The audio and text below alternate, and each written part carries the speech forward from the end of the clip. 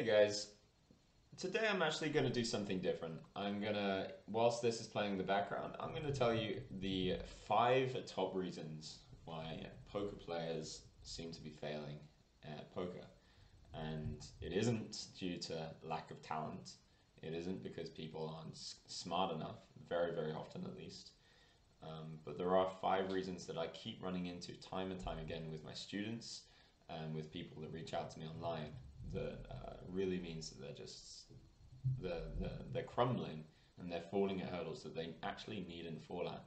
And these have really drastic results, you know, like that could be the difference between you having a, a financially free life and you not, and you having to work a nine to five. This is a really good size, by the way, on the turn. Uh, you can have a lot of ace x, queen x, and like nines with a club. So the first reason is confidence. Now, it seems to be something that people underestimate a lot.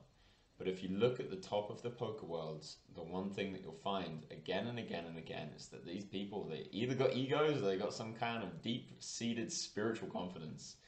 And I've experienced this myself. I've experienced when I've been taking shots, for instance, and I, I have too much of my bankroll in a tournament, or there's somebody, this is the second time in a row this guy's shot, by the way, uh, hence this, uh, hence this call I'm about to make. Um, hence, so I've been, I've had too much of myself in the tournament, and I, I've been worrying about people being better than me, and I've just played not my game. I've not played my game at all, and it happens to other people a lot more in general than it happens to me, and that's lucky on my side. It's not anything special, but it, it's something that again I sell content by the way. Again and again, I run into where people get like final three tables of a tournament, or they'll be taking a shot and they'll just play like absolute crap so how do you remedy this or how do you even notice it? Well, first of all, meditation. As you're about to see in my uh, guided meditation and mindset masterclass, great timing. Meditation is a tool. It is such a beautiful tool and if you're not meditating, you are burning money. Give it a fucking try. It's free in most places. If you want to go next level, you can, you can buy my mindset masterclass. But if you want to just dip your toes in the paddling pool for a few seconds, it's free. Just type guided meditation for confidence, guided meditation for anxiety, whatever it is that you want to be solving. So confidence really is the number one thing. Most people don't even realize they're lacking confidence. You can generally tell because you start playing super weird when uh, when people are you know a new stake or perhaps you might start deifying your opponents meaning that you see them as more than human. You see like chips and crisps here as somebody who's just so good at poker, he's unexploitable. But the, the fact is, everybody is a human and everybody is exploitable.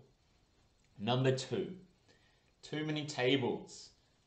I've started now that I'm uh, now that I'm grinding uh, some tournaments again a, a little bit just to, to, kind of soften my brain up for the masterclass that I'm creating uh, I've decided that I, when I'm playing tournaments, I'm only playing maximum four tables, sometimes two, and sometimes one table.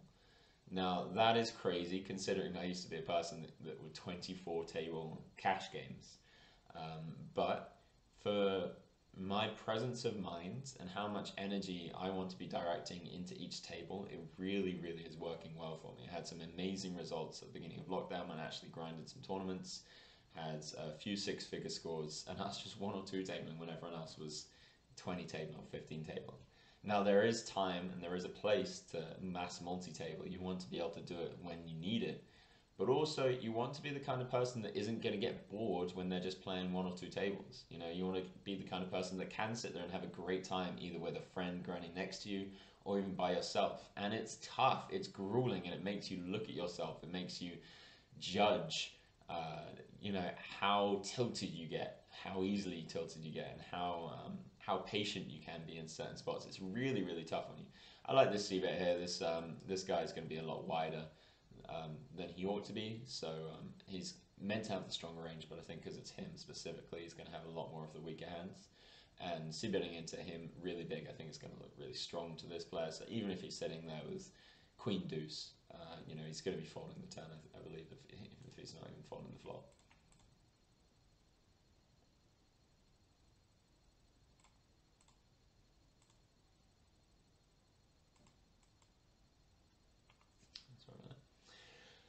So really ask yourself are you playing the right amount of tables or are you just doing what feels easiest, which is often playing too many tables? Number three, telling people about the result before it happens. It is something that I run into, and it, it seems like something that wouldn't matter too much. But there's this meme joke that happens around the poker world. It's like when you tweet about a tournament, you bust. And obviously that could be selection bias. It could be any any kind of cognitive bias. But it's something that I've noticed in myself.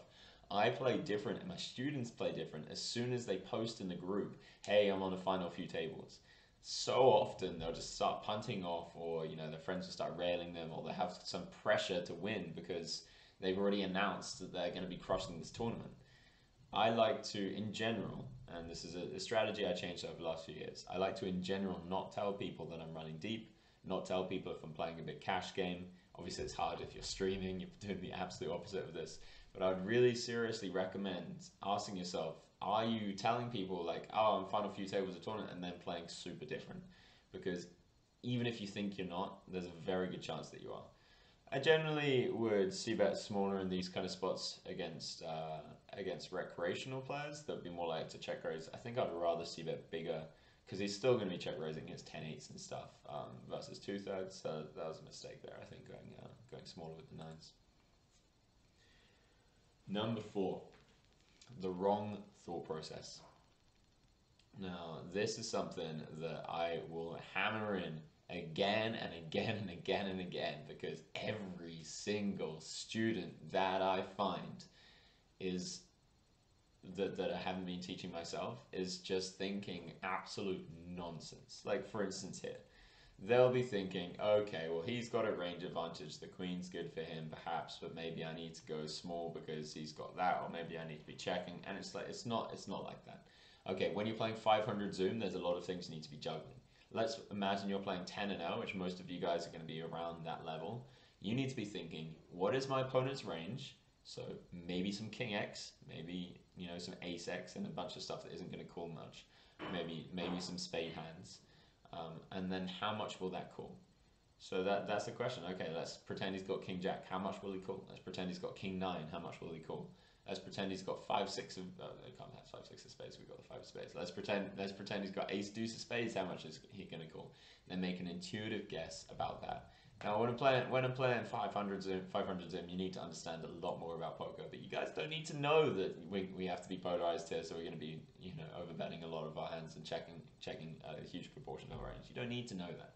It's unimportant when you're playing the, the stakes that most of you guys are playing. So the wrong thought process is really, really tripping people up. It's stopping people from being able to be concise. It's stopping people from being able to be precise. What it, happening is that you're having loads and loads of noise because people have watched. You want to be checking him most of the time with the kings. Um, it, it, smashes his range. Got to be doing some pot control, and it's really nice if it goes check check, and then you just get to overbet a lot of turns um, with a lot of bluffs, and then also a lot of one pair lying hands like ace queen plus. Um, not on the 10. The 10s, the 10 you can't overbet because you can have too much ace 10, jack 10, king 10, etc. 10 8. Um, so what is what's been happening is that people have been watching all of these different contents. For instance, they'll be watching mine, they're watching Doug Polk, they're watching Lex Veldhuis. Again, can't overbet because you can have some flushes. I'm actually going to go for the overbet. It's uh, so th this is theoretically you're not meant to be able to overbet this. I'm going for a merge here. Um, I, I understand why I'm doing it, and I'm targeting a lot of his queen x, so you can definitely have some king queens and specifically queen jacks that play like this, maybe some queen eight suited and even queen seven suited because I three bet really small pre. Um, and I'm polarizing here to make it seem like I'm I either have a flush or, or maybe aces or kings with a, with a heart or nothing. Um, I, I, I definitely don't mind it. I and, and it's actually a really good point. Like I see my thought process here. I know the thought process that I had, um, and it's a, it's a good thought process. I don't know if it's the best thought process, and you know you know you only have a few seconds to come up with a stratagem, but it's I know that I was thinking clearly and concisely about my opponent's range and my perceived range. So here's what a here's what a concise thought process looks like at, at two and L, five and L, ten. I, I teach this in my masterclass. Uh, I really hammer it in and this is why I think I've had such so many people have such huge successes. when I've been when they've been taking my masterclass, and it's um here's here's here's here's the secret to poker. What is my opponent's range? And what am I going to do about it? That is it. That is absolutely it. And obviously, the second question is full of so many nuances and intricacies that you need to be considering. It's not easy to say what is my opponent's range and what am I going to do about it. But let's pretend we're at 2 0 and you know we can we can even use this example. I think this hand's about to get pretty wild by the way. Uh, we can even use this hand as an example. Somebody opens, a recreational player opens, he then checks the flop. What's my opponent's range? Well, it's going to be a lot of ace high. Now, what am I going to do about it? Perhaps I'm going to bet the size that ace high is going to call. But not just a size that ace high is going to call, but the biggest size that ace high is going to call. I want to be charging him the most amount of money. Now that's not that's not his entire range. He can have also have like pocket sixes. He can have maybe some pocket aces or flush draws, but a lot of misses as well. But vast majority of the time, when a when a recreational player checks in this kind of spot, it's going to be ace high. Um, and judging by the sizing, he's probably not actually a recreational player, but I can see see an argument for calling, see an argument for three betting this exact hand fours with the four spades. Shout out to Hannah. Um, and so, so one of the things that you really have to be asking yourself is like um, paying attention as well. Is when I'm in, when I'm in a hand, what am I thinking about? Am I thinking about range advantages and balancing and what my actual range is and board textures and all these things? And these these are all sometimes important phenomena. Perhaps not balancing and range advantage when you're at two and or whatever. Uh, or even up to 50 now. But these are things that eventually you're going to have to be thinking about if you want to be an elite player. Get out of there. Get out of there, Charlie. Don't do it. You ain't worth it. And you need to be assessing whether these thoughts are actually helpful, whether they're actually conducive to you. Good double barrel there with the eight diamonds. Um, whether they're actually conducive to you making money in poker, or whether they're actually taking away from the EV that you're that you're creating. So think about it again. What is my opponent's range? And at every point in every hand, post flop especially, you need to be thinking, what is my opponent's range? If you don't have an understanding of what your opponent's range is, you, you're screwed. There's nothing you can do, and you'd be amazed how many of you guys listening to me do not have an idea of that intuitively or even intellectually. Like you need to know when somebody check calls this flop that they have queen x, nine x, five x, one heart, one heart hands, and maybe some traps, and then maybe some straight draws as well. You know, because if you c-bet small, you can have some like king jacks and stuff with no heart. You need to know that. You need to be able to just reel that off. And I ask my students when we're in game, not in game, but when we're in sessions watching their games, what is what is your opponent's range here? And more often than not, they're floundering. They're floundering for, for answers and they don't get the right answer. You know, they're, they're floundering to think of, okay, oh, maybe it has this, maybe it doesn't have that. And it's just like, if you don't know that off the top of your head, how are you making that snap decision on the river to, to raise the, the raise the river? Or how are you making the snap decision to call that? Was it intellectual? Was it a rational decision? Or was it more of an emotional decision because you just felt like you wanted to win the hand? And it's something that I guarantee a lot of people listening to my voice right now think that they're really good at. Damn it, Big Steel, always has it. Gave him too much credit to have bluffs there, I think. They think that they they know what they're thinking. They think that they know that they're having a good and concise thought process. Um, one, one of the issues here, by the way, is that because we see that small, our range looks really weak. Because if we had aces, for instance, this guy might expect us to go big against this recreational player. So you have to you have to be really honest with yourself. Do you always know what your opponent's range is, and you are you always considering a plan? And this is something the feedback that I actually get a lot of the time when I'm streaming, when I'm playing poker, is that I make poker seem really simple. You know, obviously I'll do a lot of very creative things. Obviously I'll play very differently to pretty much every single other high stakes professional. It seems to work. I, you know, I'm beating some of the, the toughest games in the world. Um, but it still sounds really simple, and that's because I'm just all I'm doing is I'm going through my opponent's range and then I'm making a plan. You know, and that, that plan making isn't the simplest thing to do in the world. You need to have played millions of poker hands to be able to make that plan. Uh, opening ace A here into what I thought was two recreational players in the blinds, but now in hindsight I think might be no recreational players in the blinds. Always got to be careful of your layman. Um, so you, you you know making the plan is very hard, and that takes millions of hands of practice, and it's something that isn't going to come easily to most people. But you just have to be doing it. You have to be even after a session pausing a hand and saying, okay, what did I think? Meditating there, very nice, Charlie. Nice and uh, looking nice and holy. Uh, you have to be thinking, okay, what what did I think my opponent's range was at this point, and why did I make this decision? You have to be brutally honest with yourself because most people are not being honest with themselves, and they'll be playing even up to the mid stakes, and they just won't have a solid thought process.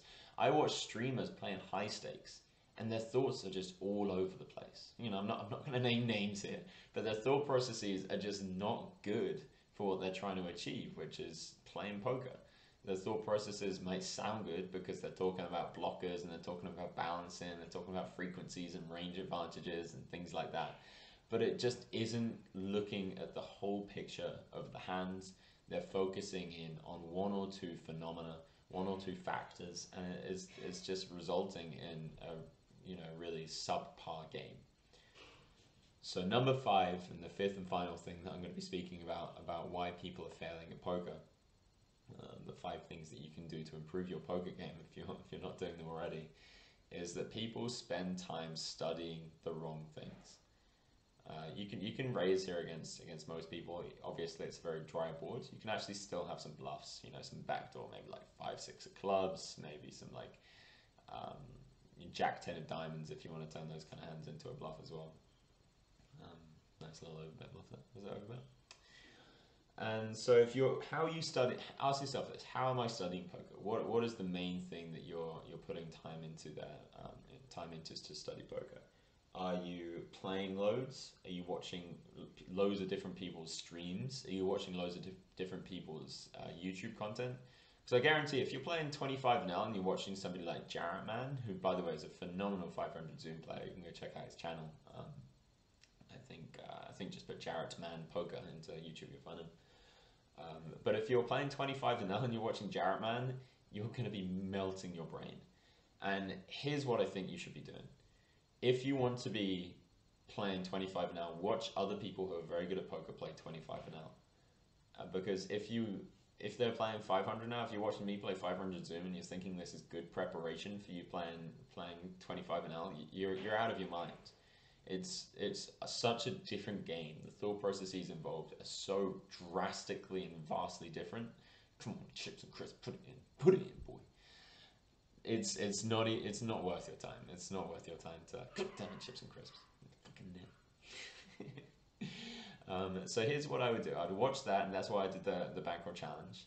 And also, I would I would spend time finding people who are on a similar wavelength and a similar level to you in poker and speak strategy uh, over and over and over again. And if you're not if you're not speaking strategy with people, then you're not practicing your thought processes and honing your thought processes outside of the game. And this is actually why I've started back up my, my Discord, which I, I'm actually spending time in myself as well. So people who are like-minded and want to speak strategy in, in, a, in a very productive way can, and um, and people are sharing lots of tips already. So I, will leave the link of my Discord in, in my in the in the description below. Uh, let me know what you thought of this kind of this kind of uh, this kind of content. It's definitely different. I have so many things I want to be speaking about, but I am very conscious of how it can actually get a bit dry sometimes if somebody's speaking without the without any poker happening. So let me know if this was good for you do check out my discords and I'll see you next time guys. Much love.